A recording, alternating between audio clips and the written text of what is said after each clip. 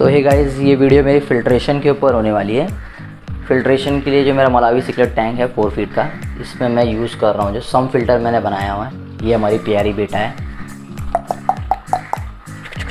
देखिए, आती है रिस्पॉन्स भी करती है। तो फ़िल्ट्रेशन के बारे में बताता हूँ। फ़िल्ट्रेशन जो रहता है, देखिए गाइज़ ये मेरा डीआईवाई है।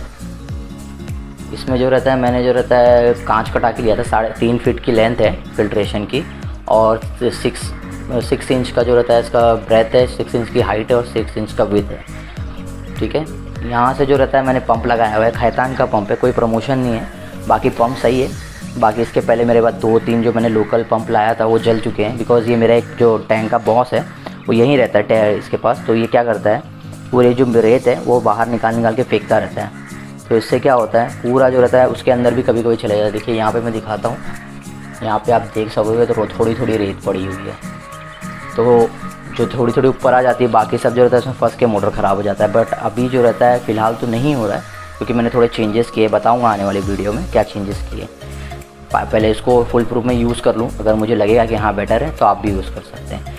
फिल्ट्रेशन के लिए देखिए, ऊपर फ़र्स्ट ऑफ़ ऑल पहले खाने में तो मैंने ऑलमोस्ट सिक्स नाइन जो रहता है नाइन टू टेन जो रहता है, मैंने ये यूज़ किया था, जिसको गाथा बोलते हैं बेसिकली ठीक गाथा इसके लिए यूज़ किया है, ताकि जो रहता है यहाँ का जो बड़ा बड़ा कचरा हो, यहाँ फंस जाए।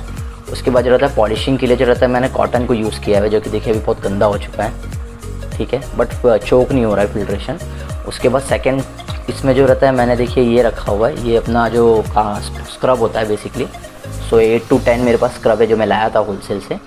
तो ये मुझे बहुत ही चीप पड़ गया था। तो इसमें जो रहता है बारीक बारीक फंस जाते हैं कचरे जो भी है। उसके बाद जो रहता है मैंने एक्वा रेमेडीज़ का जो रहता है लावा रॉक यूज़ किया हुआ है नीचे, जो कि आता है। और जो रहता है सिरेमिक बॉल यूज़ किया हुआ है। सिरेमिक रिंग जो रहती है, वो यूज़ किया हुआ है। उसके बाद लावा ही सॉरी एक्वा एक्वेटिक रेमेडीज़ का एक्सलॉन यूज़ किया हुआ है, ठीक है? ताकि जो ये इससे बोलते हैं कि एलगाई वगैरह नहीं आता है, जो कि मैंने यूज़ किया हुआ है। तीन चार महीने से मैं यूज़ कर रहा हूँ तो मुझे अभी तक तो एलगी की कोई शिकायत नहीं आई है। तो यूज़ कर सकते बेसिकली बाकी अगर आप बैक्टीरिया के मामले बोलेंगे तो मेरे हिसाब से ये बेटर रहता है। क्योंकि सेम सेरेमिक बॉल है। उसके बाद जो रहता है, मैं एक बार लाइट बंद करता हूँ, दिखाता हूँ आपको। उसके बाद जो रहता है, मैंने यहाँ पे यूज़ किया है एवरी मंथ मैं चेंज करता हूँ। ऑलमोस्ट 300 ग्राम अपना एक्टिवेटेड कार्बन चारकोल यूज़ करता हूँ, जिससे पानी पॉलिश रहता है और पानी में कोई स्मेल नहीं आती किस्म की। और एक छोटा सा मनी प्लांट लगाया हुआ है, जिससे जो रहता है नाइट्रेट कवर हो, जो कि कम है बट ठीक है।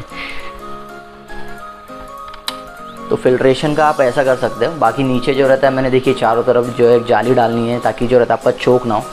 मोस्टली मेरा जो रहता है, कभी चोक नहीं होता क्योंकि मैं जो रहता है, ये स्पंज है ना क्लीन कर लेता हूँ। ये जो स्पंज होता है, इसको मैं क्लीन कर लेता हूँ। स्पंज क्लीन कर लेने से ऐसा होता है कि आपका जो मोटा मोटा जो कचरा है, वो यहीं फंसता है। तो इसको क्लीन करने से आपको घड़ी, कभी आप आउटडोर जाते हो तो आप एक बार वॉश करके पूरा टैंक जा सकते हो। बाकी जो रहता है नॉइज़ आता है, इसकी वजह से मैंने नॉइज़ के लिए देखिए नीचे एक ये लगाया हुआ है आप देख सकते हो। जो थोड़ा पाइप पाइप को मैंने सिलिकॉन से जॉइंट किया हुआ है। और साइड में ये थोड़े थोड़े मैंने इसको बनाए हुए हैं यहाँ पे, ताकि मैं यहाँ पे प्लांट्स डाल सकूँ। प्लांट्स भी अच्छे हो जाएँ और नाइट्रेट भी इसका कंट्रोल में रहे। और ये आधे इंच के दोनों होल है। एल्बो यूज़ किया हुआ है मैंने, जो टी टी बोलते हैं बेसिकली सॉरी वो टी बोलते हैं तो वो एक यहाँ यूज़ किया हुआ है। नीचे पाइप को जो रहता है, मैंने दो दो एल्बो यूज़ किए हुए।